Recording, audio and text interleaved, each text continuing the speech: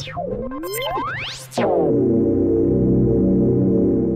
presidente da República pediu o apoio da população para as reformas, principalmente a reforma da Previdência, porque dessa forma a economia do Brasil começaria a se destravar e os investimentos começariam a aumentar no país. Na realidade, os investimentos dependem de dois grandes fatores.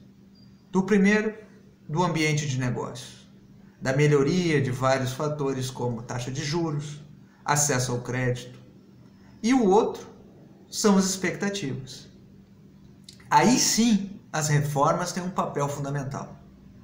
A reforma da Previdência sendo aprovada é uma sinalização de que o governo tem condição de realizar as reformas subsequentes.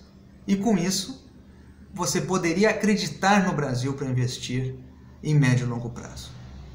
Portanto, é preciso nesse momento termos um pouco de paciência, porque vão demorar alguns meses para que a nossa economia possa voltar a crescer, mas principalmente é preciso que o governo mostre que veio com a aprovação da reforma da Previdência.